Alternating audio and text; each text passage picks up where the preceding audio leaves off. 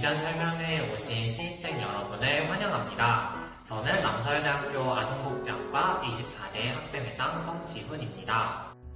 오늘은 아동복지학과에 대해서 궁금하셨던 부분에 대해 말씀드리고자 합니다.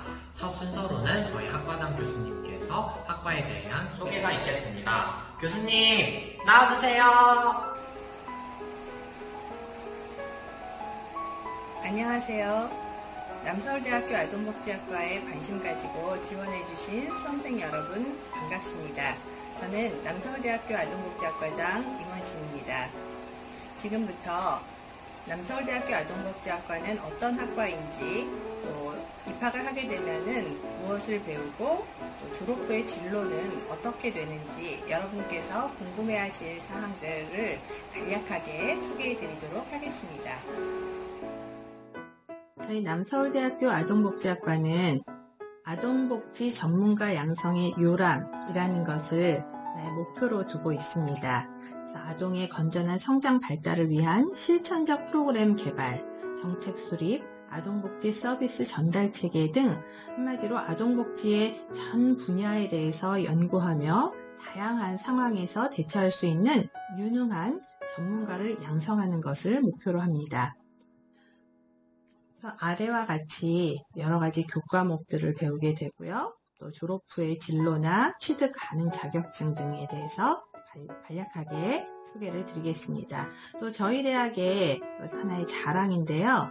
외국의 대학들과 복수 학위제를 운영을 하고 있습니다. 그래서 우리 학교에서도 공부를 하고 또 2년간은 외국 대학에 가서 공부를 하면서 두 대학의 학위를 동시에 취득할 수 있는 그런 어떤 프로그램들도 운영이 되고 있으니 나중에 입학을 하시게 되면 관심 많이 가지시면 좋을 것 같습니다. 어, 아동복지학과에서 공부를 하게 되면은 그 이런 자격증들을 취득을 할 수 있는데요. 여기 자동 취득 자격이라고 말한 것은 학과에서 어떤 커리큘럼 등을 운영을 할 때 그것들을 여러분이 그대로 잘 쫓아가시면은 사회복지사 2급과 보육교사 2급 자격을 취득할 수 있습니다. 그리고 정원의 10% 이내에서는 유치원 정교사 자격도 취득을 하게 됩니다. 그리고 시험을 보고 나서 취득하게 되는 자격이 사회복지사 1급인데요. 어, 이거는 모든 뭐 한국에 있는 대학들에서는 공통적인 겁니다. 사회복지사 2급을 취득한 이후에 따로 시험을 봐야지만 1급을 취득을 할 수 있습니다. 그 외에도 청소년 지도사나 상담사, 아동 상담사, 놀이치료사, 전문 코치 이런 자격증들을 취득을 할 수 있습니다. 졸업을 하게 되면 이러한 자격증 등을 기반으로 해서 국공립 및 직장 어린이집, 또 공사립 유치원, 아동상담센터, 사회복지시설, 건강가정지원센터 등 아동 가족 복지와 관련된 다양한 기관에 취업을 할 수 있고 지금 현재 여러분의 선배들도 그렇게 취업을 해서 열심히 현장에서 근무를 하고 있습니다. 저희 남서울대학교 아동복지학과만의 특장점을 몇 가지 말씀을 드리겠는데요. 저희 학과에는 현재 보육, 복지, 유아교육, 상담, 코칭 이렇게 다양한 분야를 전공하신 12명의 교수님이 계십니다. 그래서 그 각 교수님들의 어떤 전공을 아주 최대한 활용해서 체계적인 교육과정을 운영하고 있기 때문에 여러분들이 와서 여기에서 다양한 분야들 중에 자신이 관심을 가지고 있는 그런 분야들을 더 잘 공부할 수가 있겠습니다. 그리고 저희 아동복지학과는 그동안 교육부에서 하는 다양한 특성화 사업 등을 많이 운영을 해왔고 그런 것들 때문에 저희 학과가 많이 발전할 수 있었습니다. 지금까지 시, 도청 어린이집이라든가 또 보육정보센터 등을 위탁 운영을 해왔고 지금 현재도 또 충남 도청 어린이집과 아산시 보육정보센터를 위탁 운영하고 있습니다. 또 학부를 졸업하면 대학원을 진학하는 경우가 많은데요. 저희 현재 운영하고 있는 대학원도 영유아 교육 및 보육, 아동 상담 치료, 코칭, 중독 재활 등 이렇게 다양한 분야의 대학원을 운영을 하고 있습니다. 어린이집의 교사나 원장을 위한 보수교육 등을 어, 국가에서 지정을 해서 반드시 의무적으로 시행하게 되는데요. 이러한 보수 교육도 저희가 운영을 하고 있는 기관으로 지정받아서 어, 현재도 운영을 하고 있습니다. 방학마다 주로 운영이 되고 있죠. 여러분이 입학하시게 되면은 이제 공부를 하게 될 건물입니다. 어, 여기는 6층짜리 건물이고요. 어, 현재 1층에서 6층까지 이런 다양한 시설들이 있습니다. 1층은 남서울대학교 부설 어린이집인데요. 이 사진으로만 보면 굉장히 작아 보이지만 사실 600평 규모의 굉장히 큰 아마 이렇게 큰 어린이집 규모를 거의 보시기 힘들 거예요. 그래서 굉장히 큰 어린이집이 운영이 되고 있고요. 어, 2층에서는 지금 여기 나와 있지는 않지만 바우처 센터라고 해서 어, 바우처 프로그램으로 여러 가지 프로그램을 지금 외부에서 실제로 클라이언트들이 와서 여기 참여를 하고 있습니다. 그래서 그런 바우처 센터가 운영 중에 있고요. 또 4층은 아동가족 상담센터가 어, 있어서 거기에서 여기 있는 것처럼 뭐 학습치료, 놀이치료, 뭐 언어치료, 미술치료 등등 다양한 프로그램들이, 치료 프로그램들이 운영이 되고 있습니다. 옆에 보이시는 이 사진은 놀이치료실의 모습입니다. 또 감각통합치료실, 발달놀이치료실 등이 있어서 각각의 실에 맞는 프로그램들이 운영이 되고 있죠. 5, 6층은 아동복지학과의 강의실입니다. 여러분들이 실제로 가장 많이 생활하고 직접적으로 공부하는 공간입니다.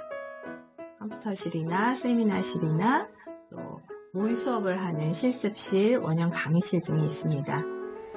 잘 들으셨나요? 남서울대학교 아동복지학과에서 여러분의 꿈과 비전을 꼭 이루시기를 바라겠습니다. 감사합니다.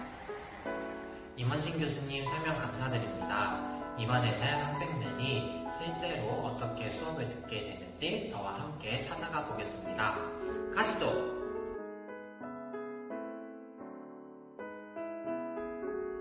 지금 보고 계신 곳은 원형 강의실로 학과의 다양한 행사들이 진행되고 있습니다.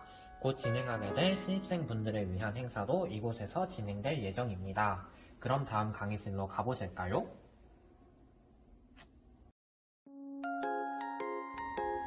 이번 강의실은 모의 수업실입니다. 이곳에서는 여러 학생들이 보육 관련 수업을 진행하며 직접 만든 교재 교구들을 이용하여 모의 수업을 진행하는 곳입니다. 이곳에는 다양한 교재 교구들이 구비되어 있으며 모두 사용이 가능합니다. 그럼 옆 강의실로 가보실까요? 이 강의실은 대부분의 전공 수업들이 진행되는 강의실입니다. 이러한 강의실들이 복도 끝까지 쭉 위치하고 있습니다. 근데 여기서 끝이 아닙니다. 자, 이곳은 6층으로 아동복지학과는 5층과 6층을 모두 사용하고 있습니다. 이곳에도 강의실들이 위치해 있으며 학생들의 문의사항을 담당하고 있는 학과 사무실도 이곳에 있습니다. 그럼 마지막으로 아복의 꽃 학생회실로 함께 가보실까요? 이곳은 학생회실입니다. 학생회실 소개를 맡은 학생회장을 모셔볼까요? 여러분들에게 학생회실을 설명해드릴 이신지입니다. 저희 학생회실은 아동복지학과 학우분들에게 복지를 제공해드리기 위해 여러 가지 물품들을 제공해드리고 있습니다. 모의 수업에 쓰일 교구들을 만들 때 필요한 기본적인 물품들인 가위, 테이프, 글루건, 색연필 등을 제공해드리고 있습니다. 또한 수업을 들을 때 필요한 자료들과 과제들을 프린트하실 수 있도록 종이들을 대여해드리고 있으며 프린트기로 프린트도 하실 수 있습니다. 이외에도 보조 배터리와 충전기 그리고 약들과 여성용품들도 대여해드리며 아동복지학과 학우분들의 복지에 힘쓰고 있습니다. 아동복지학과 학생회실에 대해 소개해드렸는데 여러분 아동복지학과 학생회가 어떤 행사를 진행하는지 궁금하시죠? 영상으로 준비했습니다.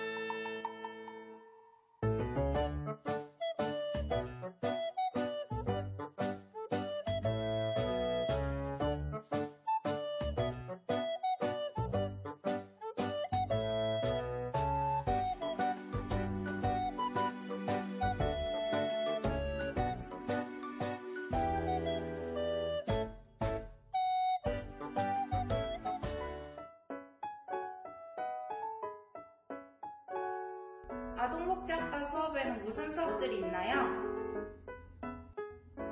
아동복지학과 수업들에는 복지, 보육, 상담 세 가지의 분야들로 나뉘어져 있으며 복지 분야에는 사회복지학개론, 사회복지 실천론, 사회복지 현장 실습 등의 다양한 수업들이 있고 보육 분야에는 보육학개론, 보육과정, 보육실습 등의 수업들이 있고 상담 분야에는 영유아 발달, 가족상담 등의 수업들로 이루어져 있습니다. 아동복지학과 동아리에는 어떤 것들이 있나요? 아동복지학과 동아리에는 도담도담 동아리와 예그리나 동아리로 두 개의 동아리가 있습니다. 도담도담 동아리는 지역아동센터와 굿네이버스 기관과의 연계를 통해 복- 보육과 복지 분야로 봉사가 가능한 동아리이고 예그리나는 굿네이버스와 연계해 인형극 활동을 하는 동아리로 인형극, 멘토링, 캠페인 등의 활동이 가능한 동아리입니다. 이외에도 동아리별로 다양한 활동들이 있으니 여러분들이 관심 가는 동아리에 가입하실 수 있습니다. 졸업할 때 취득할 수 있는 자격증은 어떤 것이 있나요? 필수 교과목들을 들으시고 복지와 보육, 현장 실습을 진행하시면 사회복지사 2급 자격증과 보육교사 2급 자격증을 취득하실 수 있으시며 정원 내 10% 이내는 유치원 정규사 2급 자격증을 취득하실 수 있습니다. 학생회는 무엇을 하나요?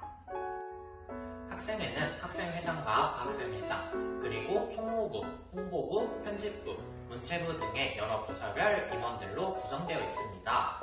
학생회는 앞서 보신 학생회실에서 아동복지학과 학우분들에게 필요한 물품들을 제공해 드리고 있으며 아동복지학과 학우분들이 더 재밌고 편안한 학과 생활을 하실 수 있도록 복지에 힘쓰고 있습니다. 또한 졸업식, 신입생 OT와 MT, 아동복지인의 밤, 간식 행사 등 여러 행사들을 기획하고 진행하고 있습니다. 저희 학생회에서 진행하는 여러 행사에 신입생분들의 많은 관심 부탁드립니다. 오늘 영상으로 궁금증이 많이 해소되셨을까요?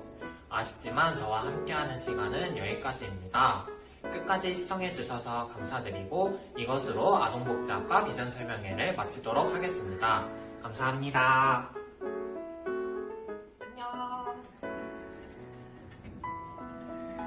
잠깐 후기 영상까지 보고 가세요. 안녕.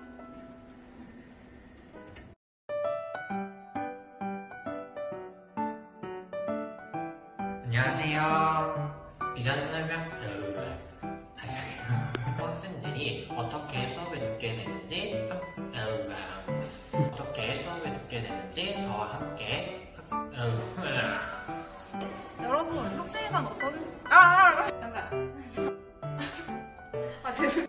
아동복지학과에서 무슨 수업들이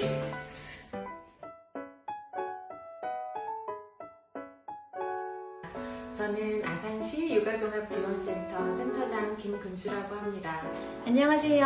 아산시 육아종합지원센터에서 보육전문요원으로 근무하고 있는 07학번 졸업생 이지영이라고 합니다. 예, 안녕하세요. 충남도청 어린이집 원장 김순숙입니다. 저는 남서울대학교 학생생활상담센터에 있는 아동복지학과 08학번 정윤경입니다. 어, 하- 저는 학생생활상담센터에서 개인상담과 심리검사 등을 하고 있습니다. 안녕하세요, 여러분. 저는 남서울대학교 아동복지학과를 졸업한 김경남 가사조사관이에요. 가사조사관이라고 하는 직업이 여러분들에게 좀 낯설고 생소하게 들리시죠? 가사조사관은 법원 공무원이고요.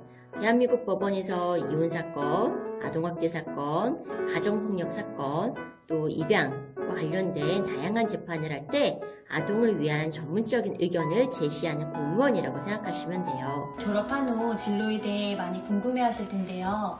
보통 어린이집 교사, 사회복지사로 한정되어 생각하고 계실 겁니다. 하지만 전국에 있는 육아종합지원센터에서 보육전문요원으로도 근무하실 수 있습니다. 육아종합지원센터는 어린이집 보육교직원의 교육과 상담, 컨설팅을 지원하고 가정에는 부모와 영유아들을 위한 교육, 상담, 놀이치료, 그리고 장난감을 대여하는 서비스 등 포괄적인 양육 서비스를 제공하는 기관입니다. 저도 고3 때 참 진로에 대한 고민이 많았는데요. 어, 남서울대를 오니까 아동복지학과에서 어, 복지도 배우고 교육과 상담도 볼수 있었는데 어, 이 분야에서 어, 여러 가지 분야에서 좋아하는 분야로 찾을 수 있는 어, 그런 도움을 받았습니다. 저는 현재 서울에 있는 병설 유치원에서 근무하고 있는 아동복지학과 11학번 졸업생입니다. 저는 남서울대 아동복지학과에 입학해 교직과정을 이수하였고 보육교사 자격증과 유치원교사 자격증을 취득하여 임용시험을 볼 수 있었습니다. 여러분들도 남서울대학교 아동복지학과에서 다양한 지식을 습득하신다면 4년이라는 시간이 굉장히 길 것 같이 느껴지시겠지만 굉장히 빨리 지나갈 수 있거든요. 우리 사회가 꼭 필요로 하는 능력과 인성을 겸비한 인재가 될 수 있을 거예요. 여기 오시면은 전문적인 지식도 강화할 수 있고 다양한 경험을 통해서 네, 직업적인 체험을 할 수도 있다고 생각합니다. 그 교수님들이 예를 들어 뭐 하- 사회복지 공부를 하고 뭐 보육 이렇게 공부하는 뿐만 아니라 세부적으로 뭐 아동 상담도 관련해 주시고 뭐 모래 상담 이렇게 든 게 많기 때문에 어 취업에 대해서 뭐 걱정이 있거나 했을 때 언제든지 교수님들하고 상담을 하면서 편하게 할 수 있는 게 좋은 점인 것 같아요 이 학과에 대해서. 아동복지학과에서 여러분들의 꿈을 찾아 나가길 바라겠습니다. 앞으로 행복한 대학 생활을 누렸으면 좋겠네요. 여기 어린이집에서 한 번쯤은 뵀으면 좋겠네요. 충남도청 어린이집에서도 만날 수 있기를 기대하겠습니다. 파이팅 하십시오. 파이팅! 파이팅! 안녕!